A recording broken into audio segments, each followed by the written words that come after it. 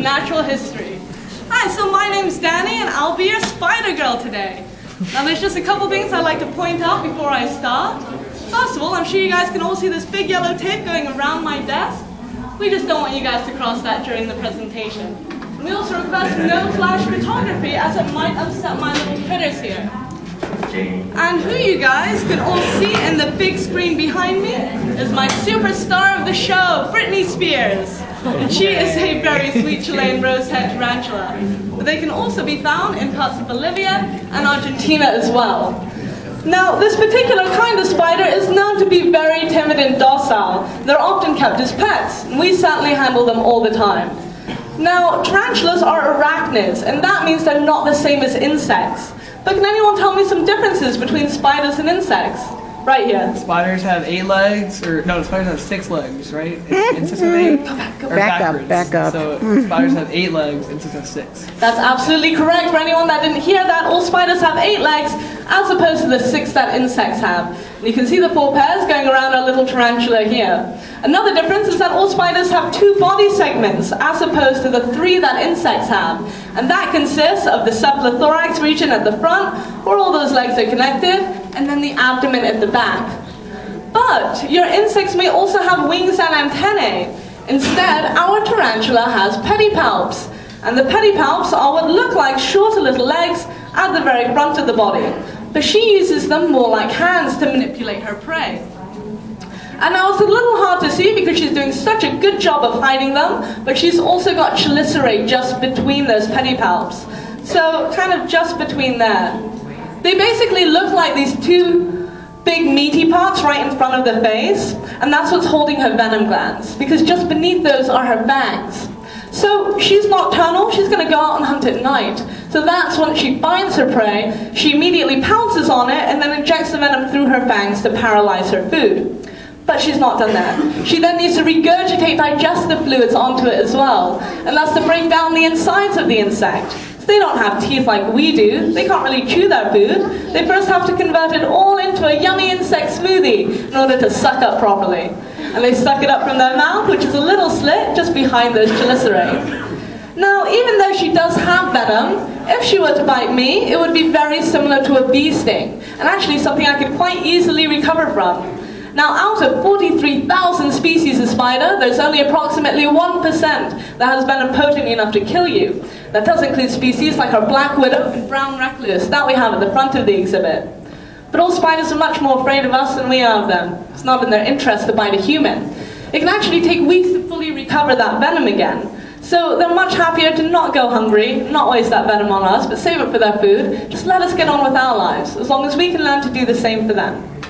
But if we also take a look just behind this chelicerae, let's see if I can catch you a glance at her eyes. Now they're tiny little beady eyes, there they are, you can just about see them. I want you to guess how many she's got. Eight. Oh, I'm hearing eight. Eight is the correct answer. Yes, she absolutely does have eight eyes. But even though she's got so many, they're only very simple, which means she can just make out light and dark and only very basic shapes. However, not all spiders have the same amount of eyes, or even the same kind of eyes. And in fact, if you all look behind you, this guy's staring very intently at us. Yeah, it's not the lovely person in the scarf just behind. There we go. So that jumping spider with the big frowny face has those two large anterior median eyes. And they have a much higher acuity in them. That means he's got better eyesight. And he can judge distances.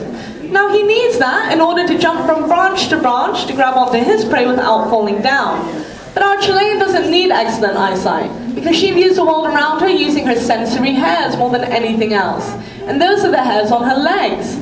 So she can feel the world through vibrations, and she can almost certainly feel the vibrations just from me talking right now. So for example, when you see spiders on a web, they're able to tell the difference between the soft movements of the wind touching their web compared with the sharp jerking movements an insect would make when caught. So they know when to stay still or hide in the shadows, when to pounce out at the opportune time. But having looked around the exhibit, I'm sure you all noticed how still our spiders are being. Now you can be totally honest. Did anyone think that they're fake or dead at all? Yeah, I'm getting a few nods here. People often think this because they're so still and we've got those little arrows pointing to them, right? But they are all very much alive and we double check every morning just to be sure. but it's in their best interest to be so still for many reasons. For one, all of our species within this exhibit are nocturnal, so if they're going to be active at all, it's much more likely to be at night. The more still they are, the better camouflage they are, so less likely to be seen and eaten by predators. And last but not least, our spiders do not make very good long distance runners. They're much better at sprinting, and they want to conserve that energy as much as possible and only use it when it's really necessary. That's often feeding or mating. But their hairs have many functions. And if our little Britney wanted to, she'd be able to climb right out of this cage. And sometimes they do. And that's all due to the very high surface area that those hairs create on the bottom of their feet. So it's actually due to Van der Waals forces that they're able to cling on so well. But also, she, like all other New World tarantulas, have urticating hairs on the abdomen. And urticating basically means irritating. They're sharp barbed hairs that they can kick off using their back legs in self-defense. So if she felt threatened by me and were to kick some of those hairs off at me, they could get stuck in my skin and be really itchy. It could even cause a rash. But I should be able to wash it off and recover from it. But now if we take a look at the very back of the abdomen, you'll see the shaded region right there. And that's where the spinnerets are. Now, they look like two throngs, and she's able to move these around. But she's not capable of ejecting out herself like Spider-Man. Instead, she needs to pull it out. She can pull it out using her back legs. The hairs on those legs can even work like a comb to straighten it out, so it doesn't get tangled and stuck together. As it comes out on multiple strands, and she can manipulate it into one. Now, spiders are even capable of creating up to seven different kinds of silk. So it's not just a sticky kind you might imagine being made up in webs. Even some webs are made up of multiple kinds. And for that matter, only 50% of spiders even make webs. So they all produce silk, but the silk will be used for other functions, like a sperm sac or egg sac, even parachuting, depending on the species. And what I have right here is some real silk created by our Haitian bird eater tarantula. Now spider silk is very strong, 10 times stronger than Kevlar, and the Aborigine people would get hold of this and use it to make fishing lines and fishing nets. They realized quite early on I was strong enough to hold up those little fish. It was pretty amazing stuff. But getting back to little Britney here, you all know I've been referring to her as that. The fact of the matter is, I have no idea if it is a boy or a girl. It's a little hard to tell at this stage. But they are sexually dimorphic. Now that means that the males and females have some different characteristics. Now with our tarantulas, the females can live up to 20 years, as opposed to only 5 for the males, so a quarter of that lifespan. They also tend to be a lot larger than the males. But our easiest way of telling them apart is that when the males become adults, they develop these big clubs on their pedipalps, and they use these in mating, almost like syringes. They actually soak up sperm from the sperm sac and place that onto the female. They're quite noticeable features, and in fact, if you take a look at our Mexican red-knee tarantula at the end of the presentation, compare his pedipalps to the Goliaths next to him, and you'll see how big and fat his are looking compared to hers. They're still quite skinny and thin. But it does take a few years. This one's still young. So it could be Britney Spears or maybe Justin Timberlake or something like that. It's a little while. But I just want to give our little Hishi a quick break and show you a real mold of a tarantula. And I do have a mold here of the Haitian bird eater. So, spiders don't have an internal skeleton like we do. Their skeleton's on the outside of their body, hence the word exoskeleton. And in order to grow, they need to shed this. Now they're going to molt up to about eight times a year when they're young, and that will lessen year by year to only about once a year as an adult. And the process will take about two weeks, as they gradually build up fluid between the old and new cuticle, and that's what stretches them apart. So when this guy was ready, he popped open the carapace, which you can see there, and I want you to imagine that piece being on top of the cephalothorax there, almost like the lid or the hood to it. So he kind of popped that open and then he just pulled himself out like a hand out of a glove. So the holes that you're seeing down here, that's where the legs used to be.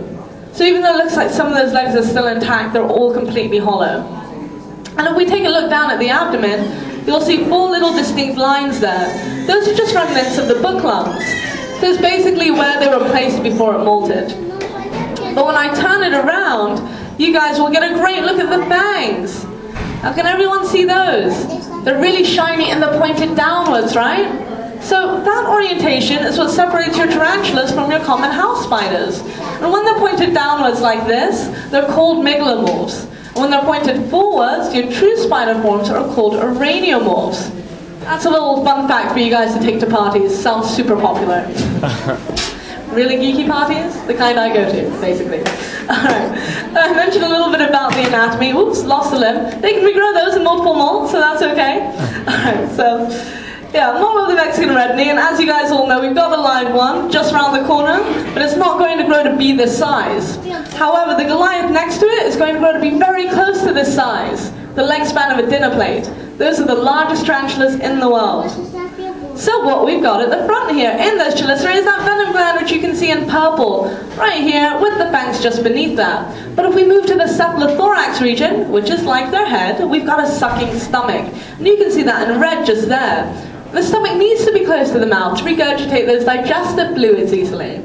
But if I move that aside, who can guess what this blue thing is?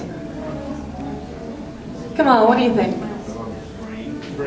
That like, yes, absolutely, it is their brain. It's their version of a brain, big cluster of neurons there. It looks like there's spokes coming out of it, but that's just a nerve going into each leg. And it's all closely connected to the eyes, which you can see at the top there. So the spider's stomach is on top of its brain. A little different from ours. It should be.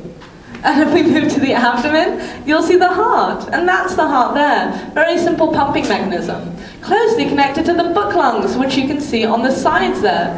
And we call them book lungs because they look a lot like books. It's almost like the pages in a book that increases that surface area, kind of like the alveoli in our lungs.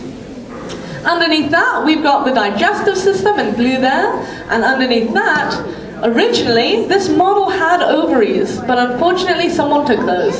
So we'll have to pretend it's a boy, I guess. Really odd thing to take away with you, right? There you go. Justin Timberlake. Yeah, exactly. But then just beneath that we've got silk glands, which you can see in orange there, closely connected to the spinnerets at the back. But some really interesting information about our spiders that I didn't even know when I started this is that their muscles are only capable of pulling in their limbs. Their muscles aren't capable of pushing them back out again. So can anyone guess how they do push their legs out? Any wild ideas or theories you guys would like to try out? I'll give you a big clue. It's due to a form of pressure. What kind of pressure could it be? What's that? Pneumatic? What? what? Pneumatic? Quite. So, I'll give the game away. It's due to their hydraulic system. So it's their blood pressure. To explain that, our spiders all have what we call an open circulatory system. So it's not closed like ours with veins and capillaries. That means it's just like a big soup in their bodies with their blood, which we call hemolymph. Their organs are mostly suspended within the fluid. Now, in order to exert out a limb, they change the pressure of this hemolymph, kind of like squeezing it into a limb to stretch it out, and their muscles just help pull them back in again. And when they're severely dehydrated, they're immobilized, the legs just tuck in underneath them. So a little unusual, not quite the way we work, right? I'm getting a few nods there. I'll take the enthusiasm when I can get it. Thank you. All right, before you all run off, I've got something really fun in store, I swear. Now, I mentioned at the start, if you remember, that our tarantulas are arachnids and not the same as insects, right? Well, arachnid is a class in the same way that insecta is a class. And within that class, there are other orders, families, and species. And within arachnida, Just here, that includes Solifugae, like camel spiders you might have seen on the news, your telescope scorpions, your vinegaroons, your harvestmen, also known as daddy longlegs, your mites, and yes, your true scorpions, which you've got right there. And that is a real-life emperor scorpion all the way from Central Africa. So you might instantly notice how shiny the exoskeleton is, right? Well, for one thing, they've got a waxy coating on it which helps prevent water loss. That's what's really adding to the shine there. But they've also got a much harder exoskeleton than tarantulas, and that's a real vulnerability for tarantulas. If you were to drop one from just this height, it would likely die instantly from the impact, whereas these guys can withstand a lot more pressure.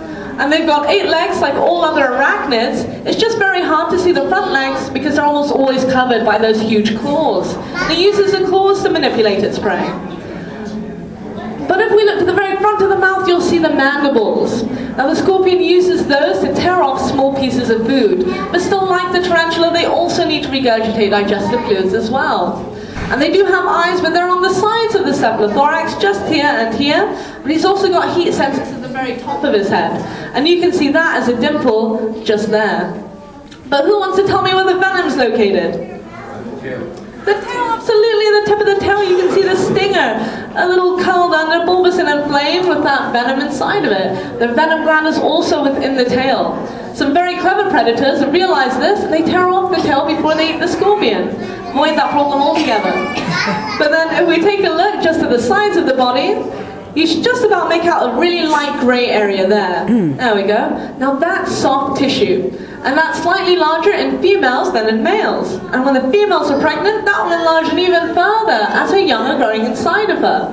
And then she'll have a live birth, so they don't have eggs like spiders do. Once she has that live birth, she'll make a great mother, carry her young around on her back until they're ready to leave her. However, if she does get very hungry and one happens to fall off, she might eat it. Sometimes she's a good mother, ah. sometimes a little dubious.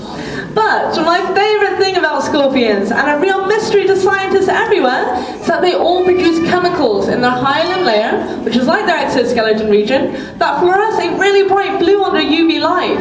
Now it's a mystery because we don't quite understand what purpose this has, if any. Researchers are still looking into it. We take advantage of this fact by going out at night, shining a UV light around, and they pop out in this incredible bright blue I'm going to show you guys right now. There you go, take a look at that. Which makes it a lot easier to find them late at night. And you will all be able to try this out yourselves on our very cool scorpion specimens that I have over here on our specimen cart. Got some other very fun things to look at. So I highly recommend that. I'm going to give my critters a well-deserved break, but I'd love to take any questions you might have. But if you're shy and just want a closer look, please feel free to come on over to the table, guys. Thank you so much for listening. It's appreciated. Thank you. Thanks a lot. Thanks. Let's shine lights on scorpions.